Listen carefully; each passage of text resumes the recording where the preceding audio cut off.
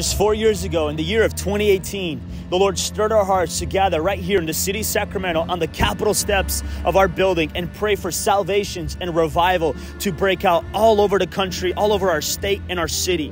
And in 2020, in the midst of chaos, in the midst of rioting and division happening all over our country, God stirred our hearts to come together and do the very first Sacramento Jesus March.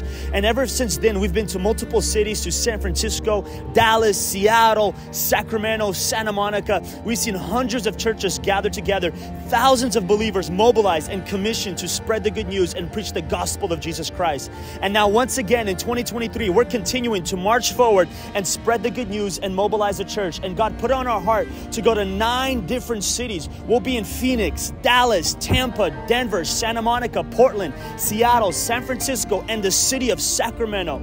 And we're asking you guys to come together and partner with us. We need your help. To do these nine cities, we need to gather a total of $150,000 to fund these nine cities. And so we're asking you guys to come together to help us so we can continue to see salvations, healings, miracles break out. We've seen so much already. We've seen cancer disappear. We've seen blood conditions healed. We've seen heart conditions healed. We've seen deaf ears open. We've seen broken bones healed and broken hearts set free. And more than anything, we've seen salvations break out everywhere we go. So we're urging you guys, partner with us, help us so we can continue spreading the gospel of Jesus Christ.